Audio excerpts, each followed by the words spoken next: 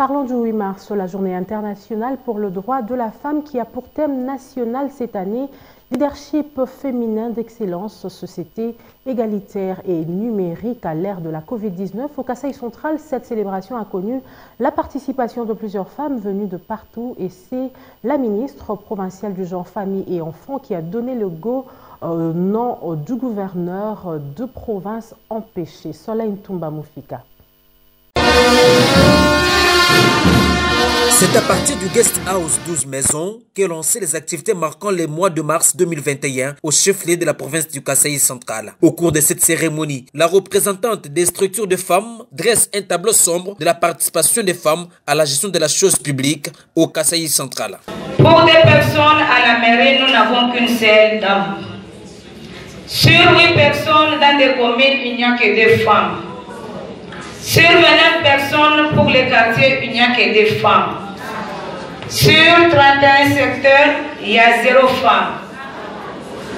Pour les secrétariats exécutifs, sur 5 personnes, il n'y a que deux femmes. Pour les femmes avocates, sur 368 personnes, il n'y a que le Haut Commissariat pour le réfugié, qui est venu en aide à l'organisation de la GIF 2021 au Cassé central, épingle ici quelques réalisations effectuées sur terrain en faveur de la femme et jeunes filles de cette province. Ali Mahamat est le chef de la sous-délégation UNHCR au Grand Kassai. Le UNHCR, en collaboration avec les partenaires locaux, a initié des activités de renforcement et d'autonomisation de la femme, notamment les formations professionnelles et l'apprentissage au métier à travers la nouvelle technologie pour 400 femmes.